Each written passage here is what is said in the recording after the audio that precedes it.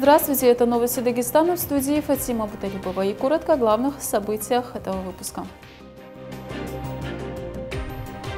Незаконный семейный бизнес. Отец и дочь задержаны по подозрению в сбытии препарата под названием «Лирика». Как не оказаться в числе пострадавших? В Махачкале проходят рейды по правилам пожарной безопасности.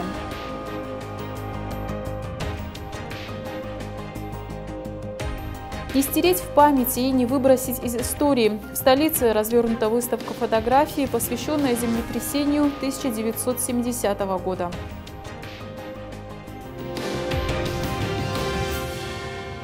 Сотрудники полиции поймали закладчика в лирике в Махачкале. Ими оказались пожилой мужчина 69 лет и его 40-летняя дочь.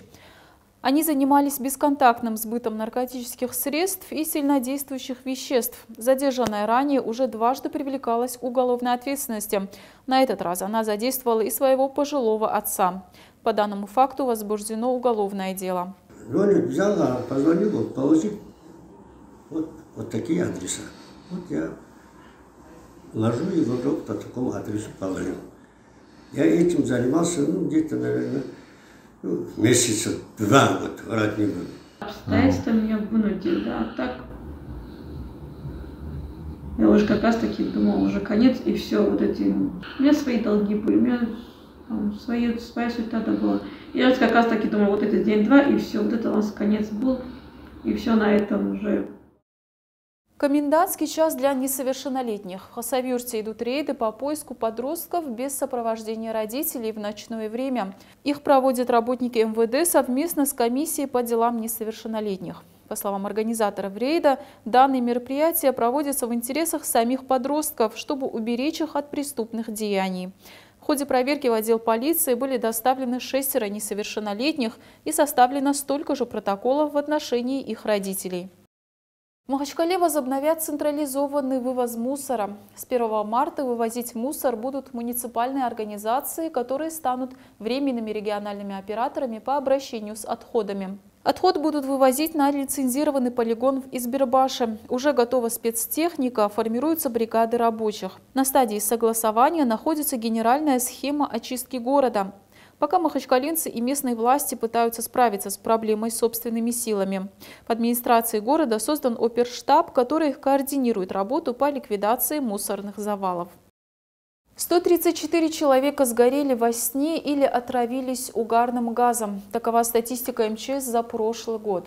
Подобные трагедии происходят с ужасающей регулярностью. По мнению пожарных, частая причина угара зимой – беспечность людей.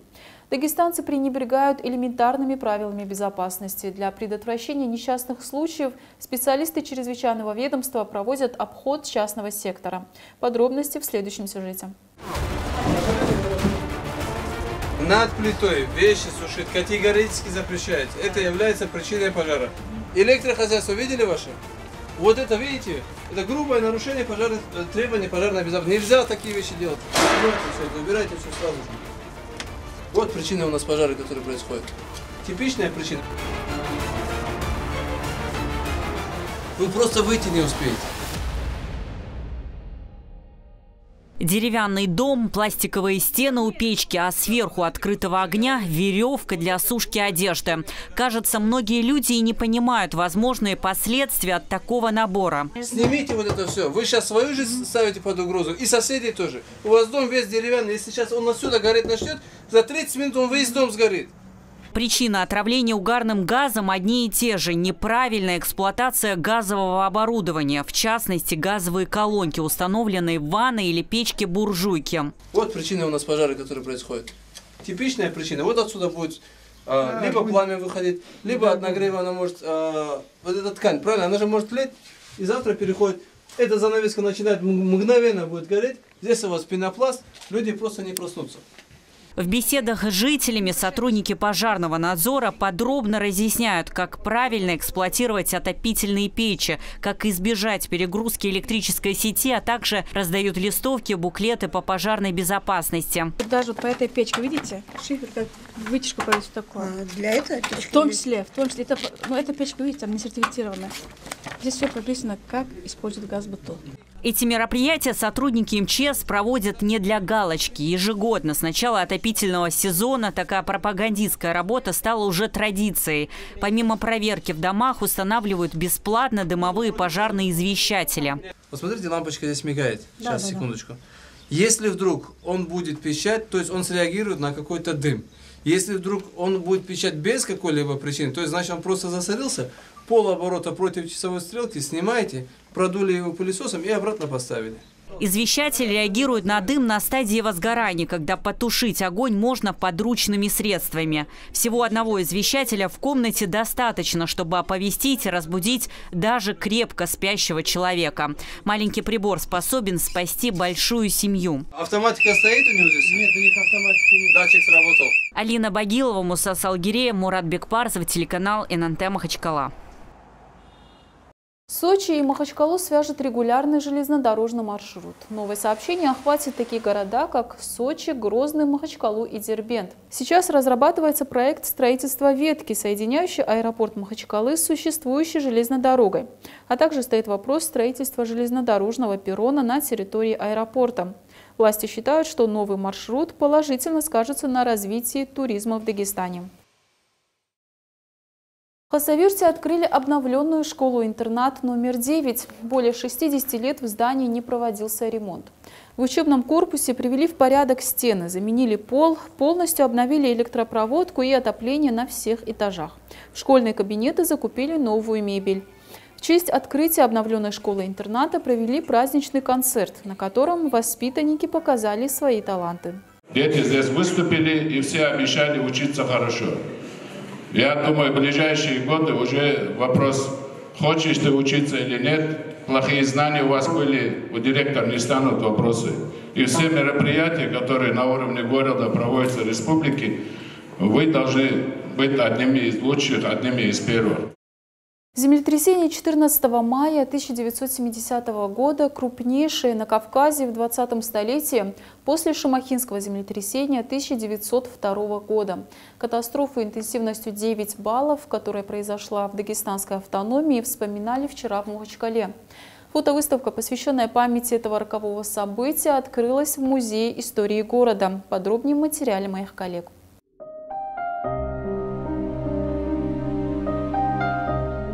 Разорванная земля, покосившаяся крыша, разрушенные до фундамента стены, игрушки и дети, заваленные обломками. Такие фотографии землетрясения 1970 года представлены на экспозиции. Эпицентр находился в 30 километрах от Махачкалы. Пострадало 25% территории республики. В результате этого землетрясения было разрушено 5 городов, 18 районов, 45 тысяч человек остались без крова, погибло 45 человек и, в общем-то, были огромные разрушения.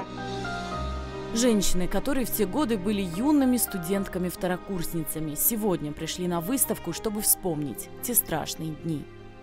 На моих глазах плинтус, который вот внизу, так сказать, пол, стена, он отошел вот на такое расстояние, то уходил, то, значит, к стене приближался. И когда идешь по улице, тогда вот эти троллейбусы ходили, как и сейчас по Махачкале, и вот эти провода троллейбусные то натягивались как струна, то провисали, то натягивались, то провисали. Но это было, конечно, жуткое время, и вот это я поняла, что страшен пожар страшное э, наводнение. Но вот когда под тобой Тверь, земля колышется, страшнее, мне кажется, ничего нет. Землетрясение кого-то застало на улице, кого-то дома, а некоторых на занятиях. Мне показалось, что ребята сзади сидели и начали трясти наши этот, стулья, стол наш, вот как бы такое было ощущение. Потом вижу, все-все так потихоньку, потихонечку задних рядов выходят из аудитории, лица бледные. Я не поняла, честно, у меня был такой ступор, и я не поняла. Бледный преподаватель, а толчки продолжаются. Выли собаки, гул такой был. Вот гул на самом деле страшный, как будто это из преисподней откуда-то, из глубин земли.